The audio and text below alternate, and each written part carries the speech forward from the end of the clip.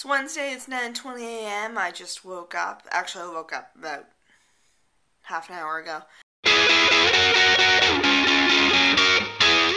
I've had this blog post building in my head for quite some time, and I think this is the point where it's demanding to be written. So at this point, I haven't even brushed my hair yet because I felt the I felt the very strong need to come and sit down at my computer and start panning this thing out but it's been flowing around in my head for quite some time and it's finally demanding me that I do something with it before it like leaves my brain. So, pretty chill day. I did some writing, but other than that, I've accomplished next to nothing except for eating far too much snack food that's in my house. And uh, I'm going out for dinner with my friend Tara soon, which I'm looking forward to because I haven't seen her in a while.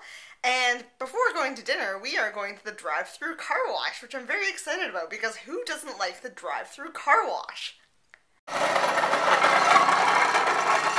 Going in for round two? Yep. There's a big sign like by the computer thing. Didn't see it. You don't read the instructions. No. well, it's just I saw the rail over here. So. Oh, I apparently wasn't filming anything. At all?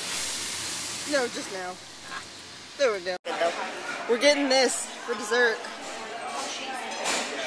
Our arteries are going to hate us, but that's okay.